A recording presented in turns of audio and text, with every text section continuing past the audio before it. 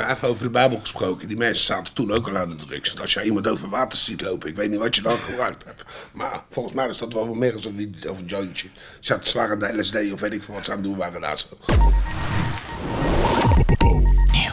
Het einde van het omstreden gedoogbeleid uit 1976 is nabij, want maar liefst 60% van de Nederlanders vindt dat het bezit, het verkopen en het telen van wiet en hash gelegaliseerd moet worden. Ed, hangt de vlag al uit? Nee, nog niet. Ja, ze beloven hier van alles in Nederland, hè. Dus we lopen al achter. Duitsland gaat voor. Nou, we hebben hier alleen maar eh, hoge prijzen in de winkel.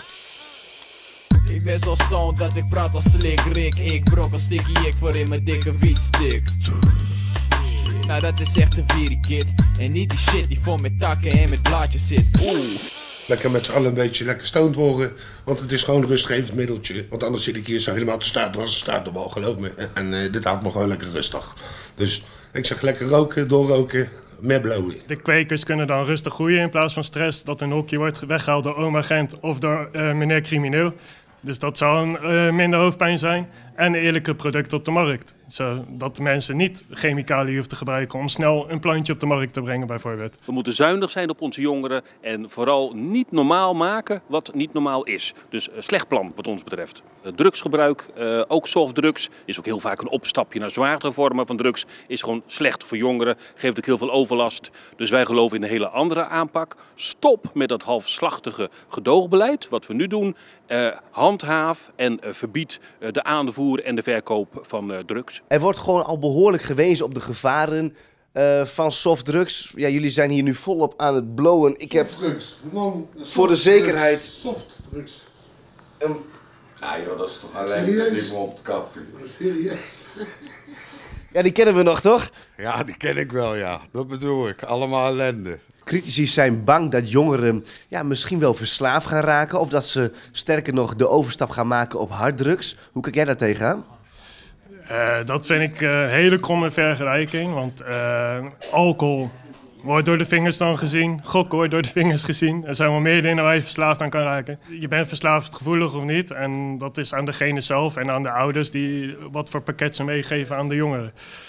De overstap naar harddrugs wordt die niet makkelijker gemaakt als je al wel eens softdrugs hebt geprobeerd, wiet of hash? Ik vind het een grappige vraag. Want ik ben hier het levende bewijs van. Ik rook al meer dan 18 jaar, maar ik heb nog nooit harddrugs gebruikt. En ik heb ertussen gezeten. Ik heb vrienden van mij die het wel gebruiken.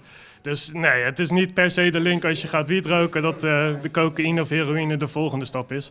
Dat heb je puur zelf in de hand. Drugsgebruik is niet normaal. Daar maak ik me gewoon zorgen over. Er is een soort sfeertje ontstaan. Ah, een wietje en een jointje in het weekend. En zo erg is het allemaal niet. Het is wel erg. Het is wel erg voor je gezondheid. Je dient er criminelen mee. Je houdt een crimineel circuit in stand. Uh, uh, dus stop daarmee. En ik heb de hoop dat het afschaf van het gedoogbeleid uh, daar wel degelijk een bijdrage aan levert. De mensen die op de SGP stemmen zijn fel tegen softdrugs. Wat zouden jullie tegen die mensen willen zeggen? Pak het moment. Uh, even over de Bijbel gesproken. Die mensen zaten toen ook al aan de drugs. Want als je iemand over water ziet lopen, ik weet niet wat je dan gebruikt hebt. Maar volgens mij is dat wel meer als een, of een jointje. Ze zaten zwaar aan de LSD of weet ik veel wat ze aan het doen waren daar. SGP, blauw lekker mee. Dat is pas goddelijk. Neem gewoon een hijs en word blauwkapje. Ja. Zet dat ding af en blauwen. Hup, een blauwkapje moet je ervan maken. Ja.